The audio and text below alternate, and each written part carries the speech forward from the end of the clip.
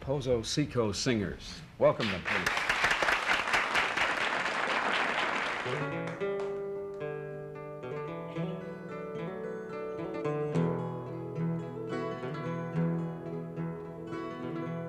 Walk me out in the morning dew, my honey. Walk me out in the morning dew today.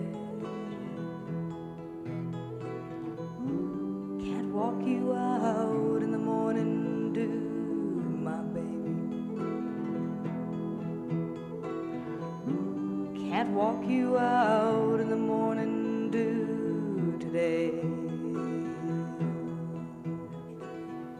And all of a sudden, I got this call from Albert Grossman, who was, a, who was the manager of, among others, the Pozo Seco Singers. He also managed Peter, Paul, and Mary, and uh, Janis Joplin, and uh, Ian and Sylvia, and some of the real, you know, the big stars of the folk scene at that time.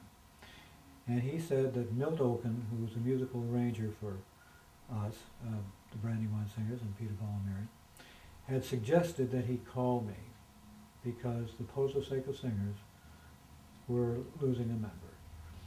And would I be interested in perhaps coming down and auditioning, meeting them, seeing whether anything clicked? And I said I would. I think that our first show together was in the Chicago area. It was somewhere in the Midwest, and we had to go out and buy me a, a corduroy suit because that's what the guys were wearing at the time. I remember that, and I don't remember where it was, but it was in the Chicago area. And I think I did pretty well. I was kind of nervous, but Pye, Susan, and Don were such pros that they managed to pull me through it. And I got stronger and stronger as we went along.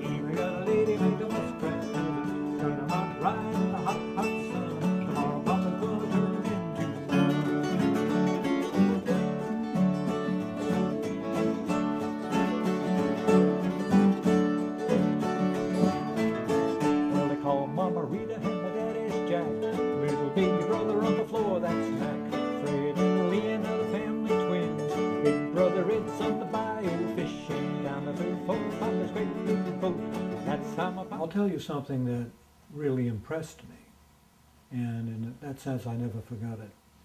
We were playing at the University of Oklahoma, I think. It was either that or Kansas, but it was uh, homecoming. And we had two things happen that night that stuck with me this entire time. During our concert, we would always have each performer have a solo by him or herself. The others would leave the stage, and the, either I or Don or Susan would do something. And Don went out one night, that night, and he kind of draped himself over this microphone, and it was a big, big hall. Maybe 5,000 people could have been there. And it was homecoming. And Don sang a song called Country Boy. And that audience just hushed. And he just laid that song out there in that wonderful voice of his and brought the house down. Just a strong, I ain't gonna marry in the fall. And all of a sudden that voice that Don has went out there and people just quieted. Everybody in place. Tomorrow's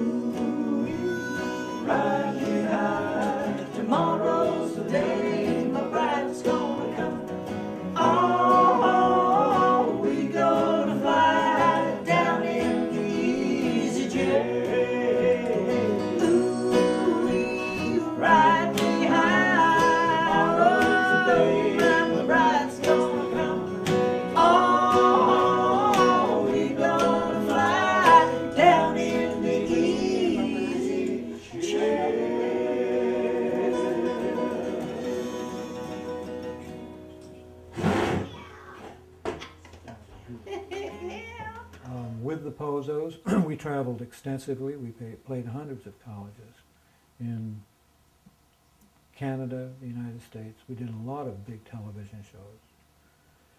And that was tremendous experience for me too. And we met some fine people and made some good records, I think. Some of them deserved to be hit records. I consider the two years, a little shy of two years, that I spent with the Pozo Seco Singers as among the best years that I've spent in this business. I really enjoyed both of them. I admired them. Don Williams, Susan Taylor, now known as Taylor Pye. They were great and continue to be great artists, great talents. And I learned a lot from them. Again. I heard my baby crying, Mama, oh, mama. Thought I heard my baby crying, mama. Thought I heard my baby crying, mama.